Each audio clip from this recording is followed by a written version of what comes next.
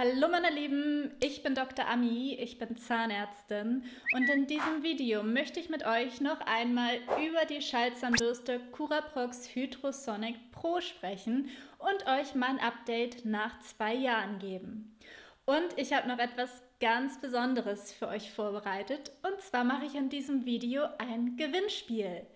Es gibt eine Hydrosonic Pro zu gewinnen. Also es lohnt sich auf jeden Fall dran zu bleiben. Zunächst einmal vorweg, dieses Video ist nicht gesponsert. Ich habe keine Kooperation mit Curaprox und meine Meinung ist vor allem nicht gekauft. Ich sage in diesem Video meine eigene ehrliche Meinung, was ich von der Schallzahnbürste halte. Allerdings habe ich mich für euch eingesetzt und bei Curaprox einmal nachgefragt, ob sie bereit wären, mir eine Schallzahnbürste zur Verlosung zur Verfügung zu stellen. Das haben sie auch getan. Also vielen Dank dafür an dieser Stelle an Curaprox dass sie mir diese Schallzahnbürste zur Verfügung gegeben haben. Von euch kam nämlich ganz, ganz oft die Nachfrage, gibt es die auch günstiger, die ist so teuer, gibt es die mal im Angebot, hast du vielleicht einen Code, kannst du da irgendwas machen? Und ich habe mich für euch eingesetzt und dieses Gewinnspiel organisiert. Was genau ihr tun müsst, um beim Gewinnspiel teilzunehmen, das erfahrt ihr am Ende des Videos. Also bleibt unbedingt dran. Dann möchte ich euch jetzt erstmal was zur Schallzahnbürste erzählen. Meine Meinung nach zwei Jahren. So lange habe ich die Schallzahnbürste jetzt schon. Und ich habe ja vor zwei Jahren auch schon ein Video über die Schallzahnbürste gemacht, als ich sie ganz neu hatte. Das Video verlinke ich euch einmal hier oben in der Ecke.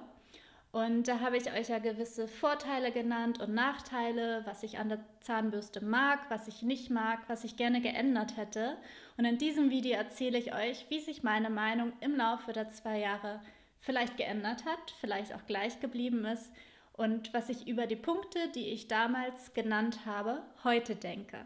Vorweg kann ich auf jeden Fall schon mal sagen, ich benutze immer noch diese Schallzahnbürste und ich finde sie nach wie vor extrem gut. Denn sie hat viele, viele positive Eigenschaften. Aus zahnärztlicher Sicht ist sie sehr gut durchdacht. Sie reinigt gründlich und ist dabei super sanft zu den Zähnen und vor allem auch zum Zahnfleisch. Und sie schafft diesen Spagat zwischen einer gründlichen Reinigung und Sanftheit sehr gut.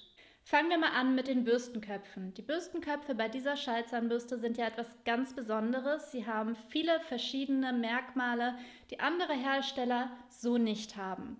Natürlich hat sie wie alle anderen Zahnbürsten von Curaprox auch Kurenfilamente und Kurenfilamente sind einfach dünner, weicher, flexibler und reinigen sehr, sehr gut und sind dabei eben aber auch super sanft. Darüber hinaus hat dieser Bürstenkopf eine ganz bestimmte Form, die ich sehr gut finde, vor allem auch, weil sie sehr klein ist. Ein sehr großer Kritikpunkt bei Schallzahnbürsten allgemein war bisher immer die, der längliche Bürstenkopf. Denn ein länglicher Bürstenkopf ist relativ groß und unhandlich und man kann mit diesem länglichen Bürstenkopf ja einige Stellen nicht so gut erreichen oder die Bereiche zum Zahnzwischenraum hin nicht ganz so gut reinigen durch diese längliche Form. Und da hieß es bisher immer, dass die normalen rotierenden, oszillierenden Zahnbürsten da überlegen sind, weil sie eben diesen kleinen runden Kopf haben. Und umso mehr habe ich mich damals gefreut, als diese Schallzahnbürste rauskam, denn auch sie hat jetzt so einen ganz, ganz kleinen Bürstenkopf und den finde ich nach wie vor genial. Er ist zwar nicht rund, er ist tropfenförmig, aber er ist eben mindestens genauso klein wie die runden Köpfe von den anderen Zahnbürsten. Die äußeren Borsten bei diesem Kopf sind etwas länger als die inneren, was bei den Backenzähnen sehr, sehr gut ist, denn sie können die Backenzähne richtig schön umgreifen und durch diese kleine Form kann man richtig gut die Rundung des Backenzahns ja, nachputzen. Bei den Schneidezähnen ist es ein bisschen schwieriger. Das ist mir im Laufe der zwei Jahre halt aufgefallen. Das habe ich in dem Video damals noch nicht erwähnt. Denn Schneidezähne sind ja eher gerade und da möchte man ja nichts umgreifen. Und da ist es ein bisschen schwieriger, damit zu putzen, damit man trotzdem gute Ergebnisse erzielt. Also da muss man wissen, wie man diese Zahnbürste einsetzt oder wie man am besten putzt, um die Reinigung einfach auch effizient zu gestalten. Denn man kann natürlich einfach so über die Schneidezähne rübergehen, das funktioniert auch, aber dann setzen zum Teil nur die äußeren Borsten auf und die inneren, kürzeren Borsten berühren den Zahn gar nicht. Und da muss man eben häufiger über den Zahn fahren und auch ein bisschen den Bürstenkopf bewegen, damit wirklich der ganze Zahn, die ganze Fläche des Schneidezahns gründlich gereinigt wird. Ich mache aber auf jeden Fall noch mal ein separates Video dazu, wie man mit dieser Schallzahnbürste am besten die Zähne putzt und erkläre das noch mal ganz genau in dem anderen Video. Nicht, dass ihr mich falsch versteht. Man kann mit dieser Schallzahnbürste auch die Schneidezähne sehr gut und sehr gründlich reinigen. Aber diese Form, dass die äußeren Borsten etwas länger sind als die inneren, ist eben optimaler bei den Backenzähnen als bei den Schneidezähnen. Die gummierte Rückseite der Bürstenköpfe finde ich nach wie vor genial durchdacht, weil man doch immer mal wieder beim Zähneputzen mit der Rückseite gegen die anderen Zähne kommt und das einfach unangenehm ist bei Bürstenköpfen, die keine gummierte Rückseite haben. Und auch einer der besten Punkte bei dieser Schallzahnbürste ist dieser Single-Bürstenkopf. Ich liebe ihn nach wie vor. Ich verwende ihn fast täglich. Wenn ich den nicht verwende, dann nehme ich eine Hand-Solo-Zahnbürste. Eins von beiden nehme ich aber jeden Abend. Und damit kann man nochmal so gründlich reinigen und Stellen erreichen, die eher schwierig sind. Den Zahnfleischsaum oder die Rückseite vom letzten Zahn. Wenn ihr Weisheitszähne habt, wo man generell schlecht hinkommt, dafür ist der auch super geeignet. Oder für Kronenränder, Implantate oder auch unten innen bei den Schneidezähnen, wo sich am schnellsten Zahnstein bildet. Dafür ist er einfach super geeignet und ich möchte den wirklich nicht mehr missen. Ich finde den so gut, dass ich ihn wirklich jeden Tag oder fast jeden Tag verwende. Den Powerbürstenkopf verwende ich persönlich gar nicht. Ich habe den mir auch kein einziges Mal nachgekauft. Also seitdem ich den allerersten, der mit dabei war, nicht mehr benutze, benutze ich den gar nicht mehr. Und ich nehme einfach nur den Sensitivbürstenkopf. Ich persönlich mag es lieber, weil er einfach weicher ist. Dann hat diese Schallzahnbürste ja sieben verschiedene Stufen und ich finde es so gut und ich verwende wirklich alle davon. Es ist nicht so, dass ich im Laufe der Zeit einfach nur noch im Endeffekt sowieso nur eine oder maximal zwei Stufen benutze. Überhaupt nicht. Ich verwende die wirklich alle. Am liebsten zum ganz normalen Putzen verwende ich Stufe 4, manchmal aber auch nur drei oder zwei, besonders an Bereichen, wo das Zahnfleisch ein bisschen filigraner ist, bisschen sensibler ist, verwende ich lieber eine niedrigere Stufe, eben zwei oder drei. Vier finde ich da schon vom Gefühl her zu intensiv. Und die Stufe 1 verwende ich immer mit dem Single-Bürstenkopf und manchmal verwende ich auch eine höhere Stufe 6 oder 7, aber das eigentlich nur auf den Kaufflächen oder maximal an den Stellen, wo ich nicht gegen das Zahnfleisch komme, also außen und innen, aber dann nicht ganz hoch bis zum Zahnfleisch für nochmal eine etwas intensivere Reinigung. Und ich finde es auch ganz, ganz wichtig, dass man variieren kann, denn glaubt mir, jeder von euch hat nicht nur eine einzige Intensität als Bedürfnis oder wie man sagt, sondern jeder von euch hat Stellen, wo er lieber intensiver putzen sollte und Stellen, wo er lieber sanfter putzen sollte. Also ich würde euch immer empfehlen, eine Schaltzahnbürste mit mindestens drei Stufen zu nehmen, eine normale, eine stärkere, eine schwächere. Und hier habt ihr eben eine noch größere Auswahl, aber es ist definitiv sehr, sehr gut, dass es so viele Stufen gibt und man so viel variieren kann und ja, je nach Empfindung einfach was anderes verwenden kann. Was ich nicht so gut finde, ist, dass man ganz schwierig ablesen kann, in welcher Stufe man gerade ist, weil das einfach nur ein fortlaufender blauer Balken ist. Das habe ich in meinem alten Video auch schon bemängelt ähm, und das finde ich nach wie vor blöd. Einer von euch hat mir geschrieben, dass er mit Edding sich selbst die Markierung angezeichnet hat. Das kann man natürlich machen, also so ist das Problem auf jeden Fall behoben ganz ehrlich, ich finde es nur einfach nicht hübsch. Deswegen habe ich das jetzt nicht gemacht, weil mich das wahrscheinlich jedes Mal nerven würde. Aber vielleicht seid ihr da etwas anders, vielleicht stört es euch nicht, dann könnt ihr ja selbst die Edding-Markierung dort setzen. Was ich in meinem alten Video kritisiert habe, war, dass die Stufen sehr, sehr langsam durchschalten. Also es wenn die schon sieben verschiedene Stufen hat, dann soll es doch bitte auch ein bisschen schneller gehen, sie durchzuschalten, weil man muss gedrückt halten und dann schalten sich die Stufen so ganz langsam der Reihenfolge nach durch und es dauert einfach echt lange und es hat mich damals sehr genervt und das nervt mich immer noch. Allerdings kann ich euch jetzt sagen, mein Freund hat jetzt auch eine Hydrosonic Pro und bei seiner Zahnbürste ist mir zufällig aufgefallen, dass die Stufen schneller durchschalten. Er hat eben eine neuere Zahnbürste,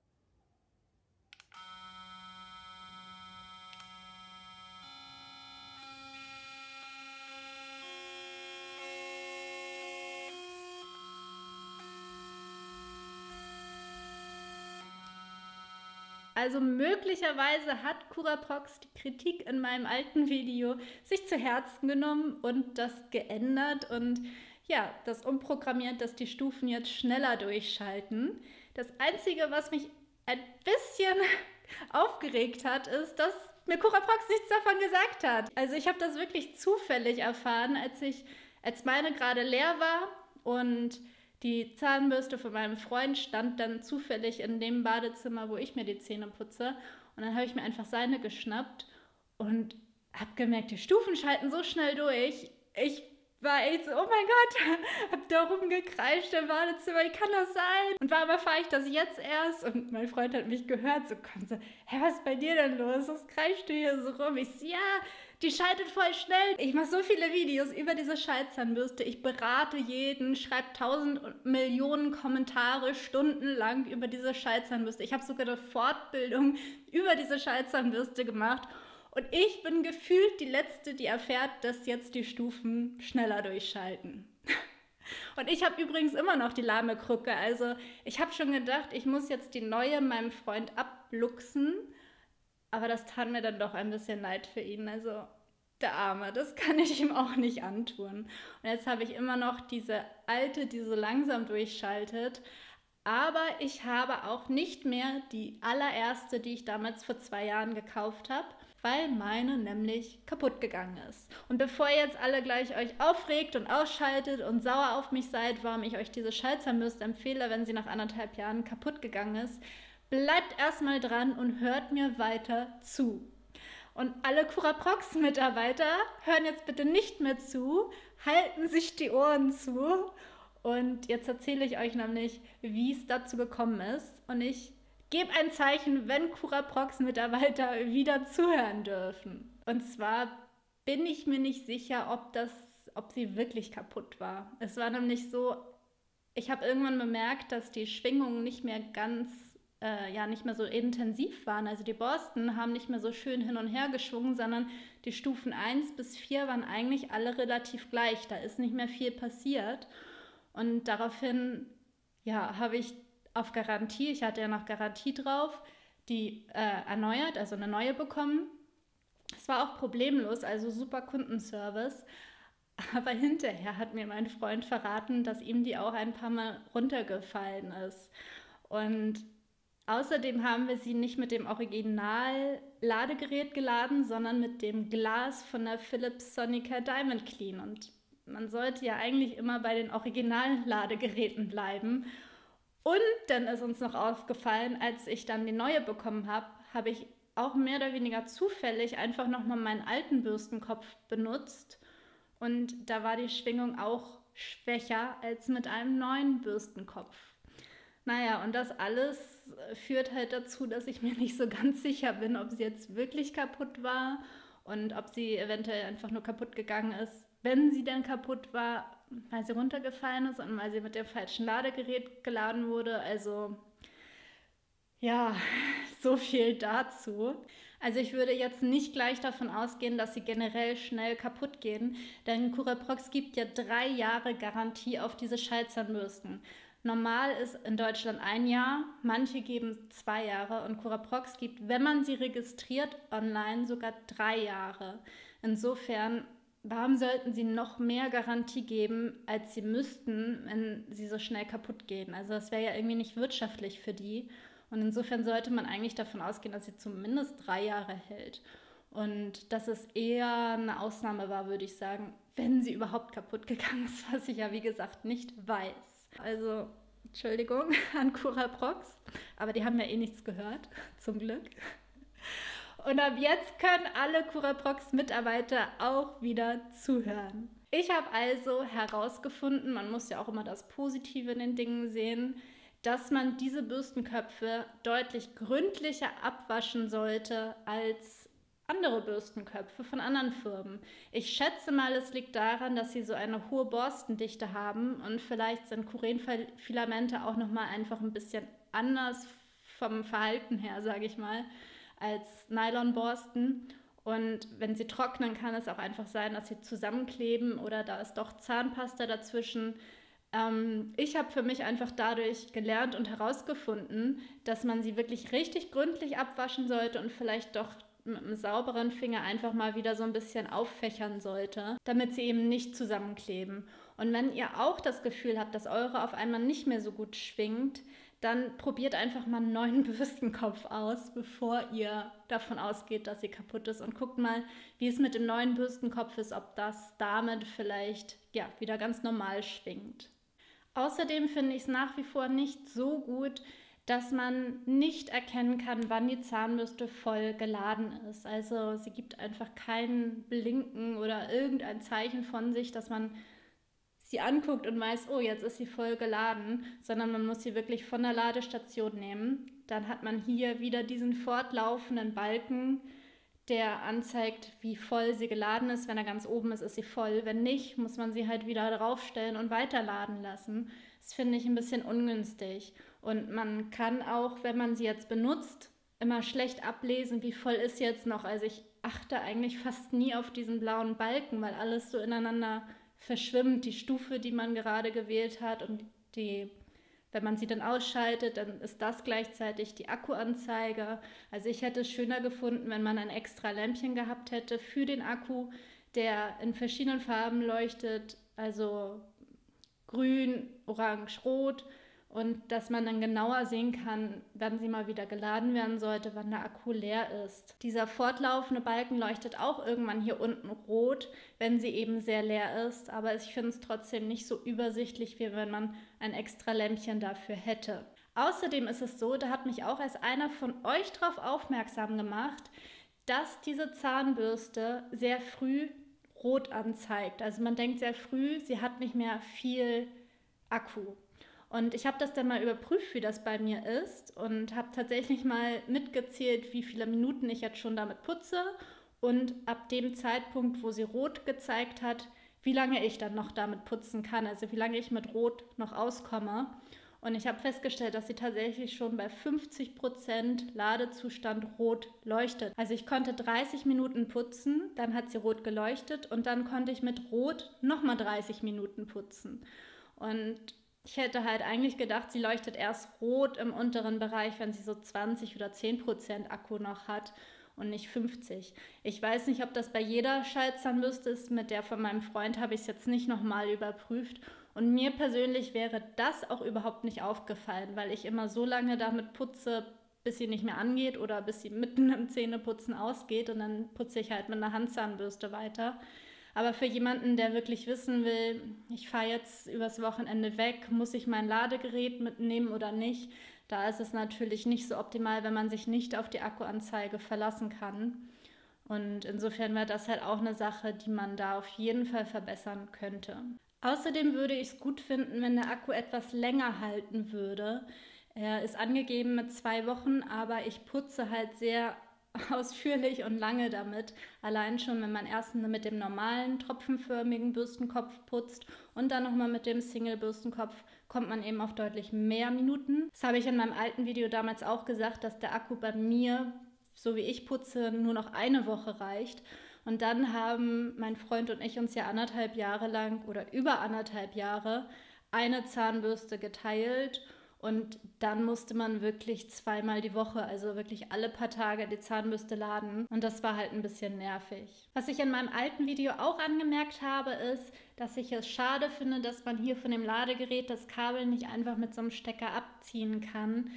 Wahrscheinlich ist das dann eine Schwachstelle, dass das eher kaputt geht, vermute ich mal, ich weiß es nicht genau. Aber ich finde es nach wie vor schade, denn ich würde gerne einfach nur dieses ähm, diesen Teil des Ladegeräts im Badezimmer hinstellen und dieses ganze, die ganze Kabellage, die da noch dranhängt, nicht. Denn so hat man entweder die Möglichkeit, es als Ganzes mit, der, mit dem Kabel hinzustellen Und je nachdem, wo die Steckdose ist, was man für ein Badezimmer hat, ist es halt eher störend, dieses Kabel. Oder man kann es vielleicht gar nicht unbedingt da laden, wo man sie hinstellt. Und ja, das wäre einfach schöner, wenn das Kabel nicht dranhängen würde. Oder alternativ stellt man die Zahnbürste einfach so hin, dann steht sie aber instabiler. Und so ist es eben meinem Freund auch passiert, dass sie umgekippt und runtergefallen ist. Sie steht natürlich stabiler auf diesem Ladegerät. Insofern wäre es einfach wirklich schön, man könnte das Kabel hier abziehen. Mittlerweile gibt es diese Schallzahnbürste nicht mehr nur auf der Homepage zu kaufen, sondern auch bei Amazon. Aber auch die Bürstenköpfe bekommt man nach wie vor nicht in der Drogerie. Bei Apotheken bin ich mir nicht sicher. Ich bin eigentlich nie in der Apotheke, deswegen weiß ich es nicht genau, ob es die in der Apotheke zu kaufen gibt. In einigen denke ich schon. Oder auch bei einigen Zahnärzten kann man die kaufen. Generell finde ich es aber gut, dass es sie jetzt mittlerweile immerhin bei Amazon zu kaufen gibt. Preislich liegt die Schallzahnbürste nach wie vor bei 199 Euro. Die Bürstenköpfe sind aber im Vergleich zu früher etwas günstiger geworden. Damals haben nämlich zwei Stück 30 Euro gekostet. Heute kosten zwei Stück auf der Homepage 20 Euro. Bei Amazon sind die aktuell ein bisschen teurer, 25 Euro für zwei Stück. Aber die Preise können sich natürlich auch jederzeit etwas ändern. Manchmal sind sie auch im Angebot, manchmal ist auch die ganze Schallzahnbürste im Angebot. Also die Preise können sich etwas ändern. Aber die Standardpreise von den Bürstenköpfen sind etwas günstiger geworden in den zwei Jahren. Also, mein Fazit nach zwei Jahren Benutzung ist eigentlich damals wie heute. Aus meiner Sicht als Zahnärztin ist es eine super Schallzahnbürste. Sie ist extrem gut durchdacht und hat viele, viele Features, die andere Hersteller leider nicht haben. Sie hat einen super Bürstenkopf, ganz klein und tropfenförmig, extrem weiche Borsten. Sie hat eine gummierte Rückseite, die Bürstenköpfe sind abgewinkelt, sodass man alle schwierig zu erreichenden Stellen trotzdem besser erreichen kann. Das Handstück hat eine ganz spezielle Form, eben verschiedene Kanten und Rundungen, die einem erleichtern, den 45-Grad-Winkel beim Putzen einzuhalten und sie hat sieben verschiedene Stufen. Also ihr habt so eine riesige Auswahl an Intensitäten und dann habt ihr noch den Solobürstenkopf, diesen ganz kleinen, für eine super gründliche Reinigung. Das heißt, insgesamt sorgen all diese Features, die die Zahnbürste hat, dafür, dass sie extrem gründlich reinigt, aber nicht nur das, sie ist dabei auch noch super sanft. Und das ist das, was für mich persönlich am wichtigsten ist. Denn es gibt so viele Schallzahnbürsten auf dem Markt und ich kann euch sagen, die meisten von denen reinigen gut. Aber die allerwenigsten sind dabei auch noch sanft. Und diesen Spagat, diese kleine Gratwanderung zwischen einer guten, gründlichen Putzleistung und Sanftheit, das schaffen halt die wenigsten. Und da ist diese Schallzahnbürste von allen, die ich bisher getestet habe, am besten. Und darum verwende ich die. Denn wenn ihr nicht sanft putzt, wenn die Borsten zu hart sind, dass insgesamt alles zu aggressiv ist, dann putzt ihr euch euer Zahnfleisch weg und im schlimmsten Fall sogar den Zahnschmelz. Auch wenn der ziemlich hart ist, kann man sich auch den Zahnschmelz wegputzen. Und ganz besonders doll muss man darauf achten, wenn man bereits freiliegende Zahnhälse hat, denn das dann freiliegende Dentin und die Wurzeloberfläche sind noch viel, viel empfindlicher was Abrasion anbelangt. Also die lassen sich noch leichter wegputzen als der Zahnschmelz. Und wenn ihr euch erstmal euer Zahnfleisch weggeputzt habt oder euren Zahnschmelz, das kommt nie wieder. Was einmal weg ist, ist weg. Und genau da gilt es eben vorzubeugen. Und weil mir das so wichtig ist und mir meine Zähne heilig sind und ich mein Zahnfleisch bis zu meinem Lebensende gesund erhalten möchte, deswegen ist es mir so wichtig, eine Zahnbürste zu verwenden, die eben nicht nur gut reinigt, sondern dabei noch sanft ist. Und wie gesagt, von allen Zahnbürsten, die ich bisher getestet habe, schafft diesen Spagat zwischen einer guten Reinigung und Sanftheit diese Schallzahnbürste am besten. Und darum verwende ich nach wie vor auch nach zwei Jahren immer noch diese Schallzahnbürste und keine andere. Und deswegen die Kritik, die ich in diesem Video an der Schallzahnbürste geäußert habe, das bezog sich ja alles nur auf das technische Drumherum der Schallzahnbürste. Und klar kann man da noch gewisse Dinge optimieren und verbessern, aber das ist halt wirklich Jammern auf hohem Niveau. Das sind Dinge, die beeinflussen nicht die Putzleistung, die beeinflussen nicht, wie sanft sie putzt. Und deswegen sind mir diese Dinge einfach nicht so wichtig. Und deswegen kann ich darüber hinwegsehen und deswegen würde ich trotzdem diese Schallzahnbürste verwenden im Vergleich zu einer Schallzahnbürste, die zwar technisch super ist, aber dann vielleicht nicht so sanft ist wie diese hier. Deswegen das ist mir alles nicht so wichtig und wäre niemals ausschlaggebend dafür, dass ich die Schallzahnbürste nicht verwende. Also ich kann sie wirklich jeden guten Gewissens ans Herz legen und ich würde sie mir immer wieder kaufen und ich verwende sie eben auch nach wie vor. Und dann seid ihr jetzt bestimmt alle ganz gespannt, was ihr tun müsst, um diese Schallzahnbürste zu gewinnen. Um diese Schallzahnbürste zu gewinnen, müsst ihr unten in die Kommentare schreiben, warum ihr diese Schallzahnbürste gewinnen möchtet. Das Gewinnspiel beginnt heute mit diesem Video und endet am 12. März um 20 Uhr. Teilnehmen kann jeder aus Deutschland, Österreich und der Schweiz, der älter ist als 14 Jahre. Der Gewinner wird daraufhin in einem der folgenden Videos bekannt gegeben und damit ihr nicht verpasst, wenn ihr gewonnen habt, macht es auf jeden Fall Sinn, wenn ihr meinen Kanal abonniert und auch wenn ihr auf die Glocke drückt. Dann werdet ihr nämlich immer benachrichtigt, wenn ein neues Video von mir online kommt. Und dann verpasst ihr auf jeden Fall nicht, wenn ihr der glückliche Gewinner seid. Der Gewinner, der dann in dem Video verkündet wurde, der muss dann unter dem Video einmal seine E-Mail-Adresse dalassen, damit ich ihn per E-Mail anschreiben kann und dann per E-Mail die Adresse des Gewinners mitgeteilt bekommen. Und solltet ihr bei diesem Gewinnspiel leider nicht gewonnen haben, dann habe ich noch weitere gute Neuigkeiten für euch, denn ich werde in den nächsten Monaten noch zwei weitere Gewinnspiele machen. Also ihr habt noch zweimal die Chance, diese Schallzahnbürste zu gewinnen. Also ihr solltet wirklich unbedingt abonnieren und die Glocke anmachen. Und dann kriegt ihr nämlich immer mit, wenn neue Gewinnspiele online kommen. Und ich denke, die Chance zu gewinnen ist relativ groß, weil ich ja noch verhältnismäßig klein bin auf YouTube und je weniger teilnehmen, umso größer ist natürlich die Chance zu gewinnen. Also an dieser Stelle nochmal ein Dankeschön an Cura Prox für das Bereitstellen der Schallzahnbürsten für mein Gewinnspiel. Die genauen Teilnahmebedingungen findet ihr aber nochmal unten in der Beschreibung. Und ich möchte mich an dieser Stelle nochmal ganz, ganz herzlich bei euch, meinen Zuschauern, bedanken. Ihr seid wirklich spitze. Ihr habt all meine Erwartungen übertroffen. Ich habe ja gesagt, ich bin noch klein auf YouTube bin ich auch im Verhältnis zu anderen, die YouTube machen. Aber es ist schon so viel mehr, als ich je erwartet hätte, was ich erreichen könnte. Ich dachte damals wirklich, wer guckt sich bitte Zahnpflegevideos auf YouTube an? Eigentlich doch gar keiner. Und ich freue mich so wahnsinnig, dass ich so super Zuspruch von euch bekommen, dass ich so viele Nachrichten bekomme, dass ich euch helfe mit meinen Videos, dass ihr eure Zahnpflege verbessern konntet und dass ihr zum Teil sogar von euren Zahnärzten und von euren Prophylaxehelferinnen gelobt werdet, wie gut eure Mundhygiene geworden ist. Und da freue ich mich natürlich riesig drüber. Also wenn euch auch dieses Video gefallen und geholfen hat, dann würde ich mich wie immer darüber freuen, wenn ihr mir einen Daumen nach oben da lasst und mich und meinen Kanal damit unterstützt. Wenn ihr jemanden kennt, der Probleme hat mit seinen Zähnen oder seinem Zahnfleisch, der vielleicht nicht so gerne zum Zahnarzt geht und von dem ihr glaubt, dass meine Videos ihm helfen könnt, dann teilt doch gerne meine Videos mit ihm, denn so kann ich immer mehr Leute erreichen und mehr Leuten mit meinen Videos helfen. Und dann sehen wir uns nämlich im nächsten Video wieder. Bis dann. Ciao.